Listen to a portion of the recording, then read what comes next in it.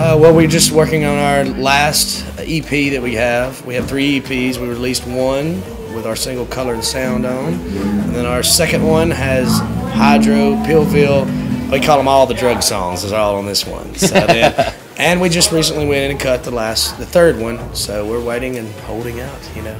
Yeah, so we're releasing the second one um, May 23rd.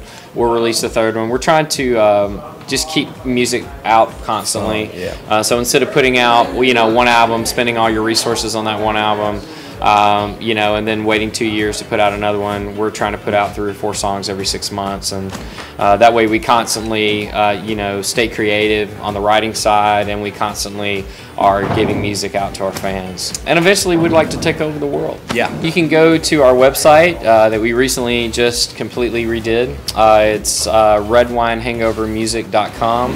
Uh, we're also on Reverb Nation uh, at